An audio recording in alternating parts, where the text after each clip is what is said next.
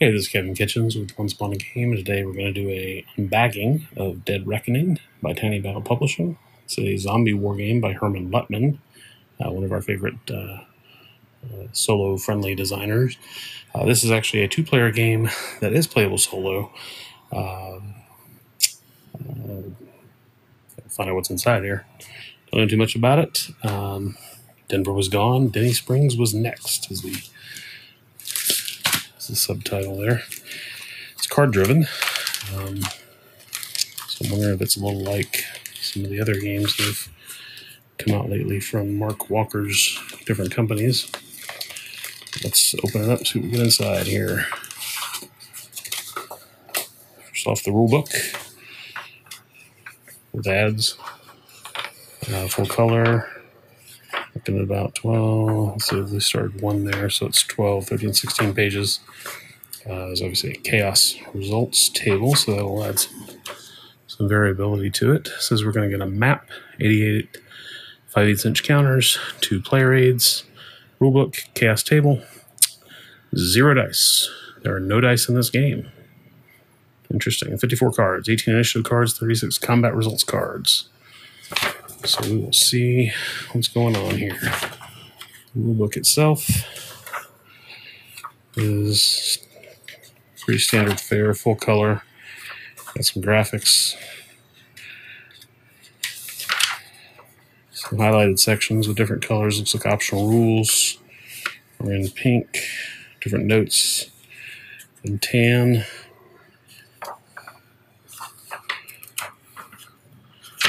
Kind of glossy, uh, glossy stock, shiny.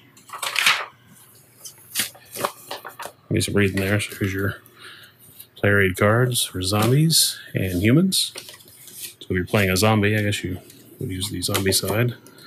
Um, but if you're playing with a human who's playing a zombie, I guess they'll use the zombie side as well. Got our map. Some of the problems with the tiny battle games has been that the maps have been too small, or the hexes themselves have been too small. This one looks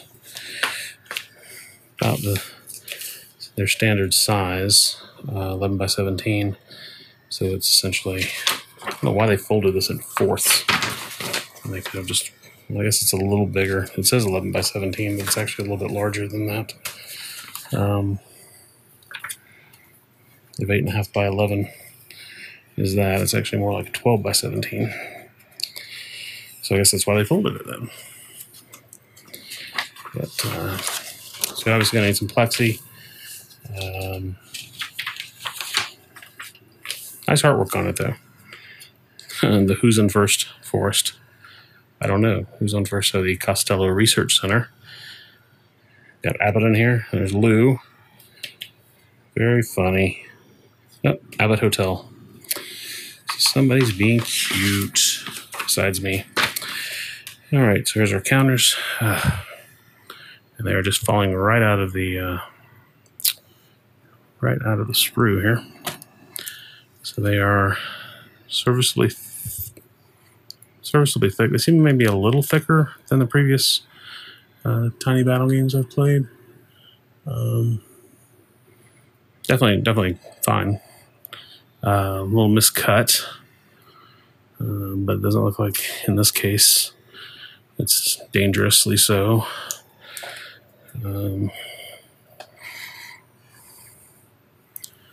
others here seem to be, we little light on here. The others here seem to be pretty decent. I guess some of those just got a little, a little eager there with a cutter. Cuts off the bottom of those letters. So hopefully that's not going to matter too terribly much. It is what it is, right? And then we got a deck of cards.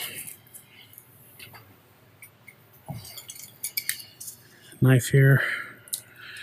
Dig into them. Apparently you've got a human combat deck. So may assume by rights there's going to be a zombie combat deck as well.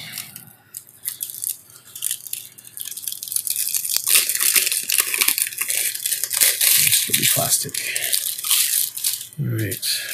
Crinkly, staticky plastic. Ugh. All right. So yes, we have com- human combat, zombie combat, and oh look, they're not sorted. Ah, they're not collated. So we'll collate them here. We got initiative cards, zombie initiative cards, more human initiative cards, more zombie initiative cards. So, COCD and me coming out there. All right, so let's take a look at them here. Uh, these are the uh, combat resolution cards for humans. They're doing attack, defense, close combat attack. So I'm assuming, like a lot of games here, you're going to draw. Uh, I guess if you get a chaos, you'll probably look something up on that chaos table. Um, so similar to of Man, which is uh, Herman Walker, not Herman Walker, Mark Walker um, from uh, Flying Pig, but it's still Mark Walker um, design. So it's using the cards for different purposes um, to resolve the combat. So it's interesting to see if it comes out. It plays out similar. So there's the human combat cards. Zombie combat cards have lovely faces on them. And same general thing fire combat defense, close combat attack, close combat defense. And then they have chaos as well. So the chaos cards obviously are going to produce some uh, random event, perhaps. And then initiative cards. Uh, I believe on the initiative you bid. I think I read in the rules. You bid with the initiative card, and that determines how many. Whoever the highest is, the one gets to go, or something like that. And that's how many uh, action points or uh, impulse points you get for the turn. So there's a set for the human and a set for the zombies. Artwork's actually kind of cool. It's kind of a watercolor, uh, watercolor effect. You know, I'm not big into zombie games, and these are pretty gruesome. Uh, help me! Help me! Help me! The soldiers look pretty cool. Actually, I really like that artwork. Let's see if we can find who did that. And the credits. Game graphics by Tim Allen. Wow. Nothing special about the cards. That must be Tim Allen. He, he does a lot of stuff for victory game, victory point games that, uh, and a lot of Hermann Luttmann stuff that always looks really nice. That's a seems a definitely a distinctive uh, or a uh, deviation from his norm. Those are pretty cool. So anyway, if you're looking at Dead Reckoning by Tiny Battle Games, that's what you're going to get in the bag because it's not in the box. Thanks for watching. Talk to you soon.